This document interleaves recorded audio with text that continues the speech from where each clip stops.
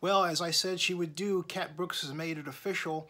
Today's May 1st. She is running for mayor of Oakland against eight candidates, including the incumbent Oakland Mayor Libby Schaaf, of course, the same person that Ms. Brooks initially tried to have recalled, well, and then prior to that, then Oakland Mayor Jean Quan, and then in a criticism of how Mayor Schaaf has handled Oakland's homeless problem, went to her home with the idea of essentially camping on it since Mayor Schaaf had said, hey, Oaklanders, open up your homes to the homeless.